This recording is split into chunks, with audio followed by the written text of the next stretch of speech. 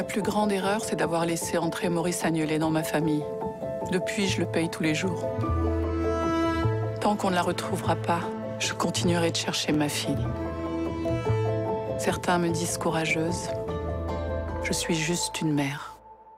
Tout pour Agnès avec Michel Larocque et Yannick Chouara. Votre nouvelle série événement